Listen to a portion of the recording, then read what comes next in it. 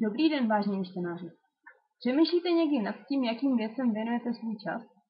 A není těchto věcí až příliš velké množství? Netříští se náhodou vaše pozornost? Pojďme si uvědomit, které věci mají opravdový význam a věnujme jim svůj čas. Jak na to se dozvíte ve článku odkázaném pod tímto videem. Pěkný den.